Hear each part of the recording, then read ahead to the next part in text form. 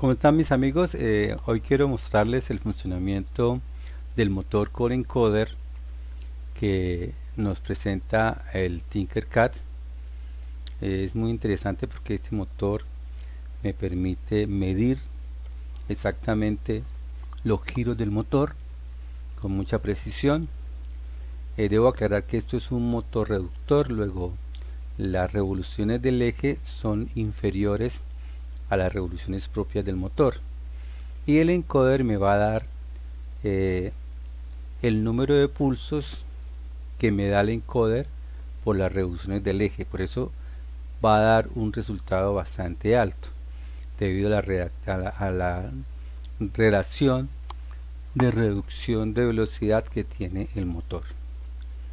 El motor requiere una fuente para el motor y una fuente para el encoder aparte. Aquí hay algo muy interesante y es que para que el encoder funcione hay que ponerle una resistencia de BCC a la salida de encoder, de lo contrario no nos va a dar señal de funcionamiento. Eh, vamos a ver el funcionamiento. He cuadrado el motor para que me dé 60 eh, giros por minuto, o sea, un giro por segundo. Sin embargo, la simulación no se va a ver tan rápido por la velocidad del internet. Requiere como mucha velocidad para funcionar. Miramos el funcionamiento. Ah, bueno, aquí tengo un osciloscopio que me va a registrar los pulsos que me está entregando el encoder eh, en la medida que el motor está girando. Veámoslo funcionar. Entonces, aquí podemos ver el motor está dando 60 revoluciones por minuto en el eje y el encoder me está entregando eh, una señal que es de 360 microsegundos. Quiere decir que esta es el, el encoder está entregando bastantes pulsos por segundo eh, en relación al el giro del eje del motor. Por eso aclaro que el encoder está conectado al motor más no al eje. Entonces por eso los pulsos que vamos a obtener son bastante grandes. Aquí tengo el osciloscopio a 90 microsegundos por cuadro. Por eso digo que son 360 microsegundos por cada pulso del motor. Eh, vamos a hacer el cálculo de cuántos pulsos obtendremos por cada giro del motor, sabiendo que tenemos un giro exacto por minuto. Entonces voy a sacar mi calculadora y voy a hacer una pequeña cuenta.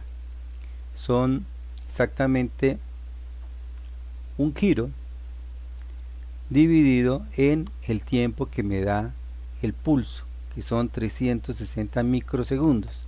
O sea, eso sería 0.00036 da 2767 pulsos por cada giro del motor. Cuando hacemos nuestro proyecto vamos a tener que anotar este número para este en particular. Claro que esto va a cambiar si yo cambio la revolución del motor.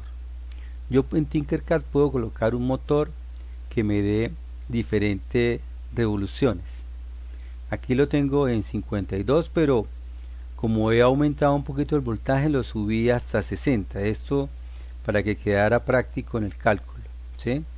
pero él tiene la posibilidad de tener diferentes salidas en el, las revoluciones. Mire llega hasta 2737 esto es me imagino que será el, el ya el motor sin directo sin motor reductor aquí lo vemos funcionar demasiado lento es algo que me pasa por mi internet pero si yo detengo y vuelvo a arrancar pues funciona un poquito más más rápido ¿sí?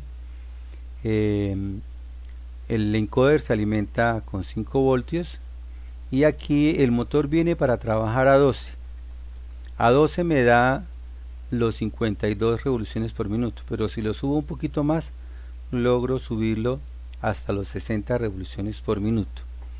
Este motor es muy práctico, podremos hacer algunos proyectos donde eh, se necesite medir la velocidad del motor y esto lo, lo podemos hacer con nuestro Arduino introduciendo esta señal del encoder para que el Arduino me esté registrando exactamente cuál es la velocidad de nuestro motor. A partir de aquí podemos hacer proyectos muy interesantes y eh, estaremos trabajando con, con algunos detalles importantes. Aquí se me olvidaba mencionar, el encoder tiene dos canales, canal A y canal B.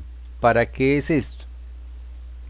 El encoder me permite registrar el avance del motor con un canal, pero al usar los dos canales yo puedo hacer aplicaciones donde pueda registrar el avance y el retroceso.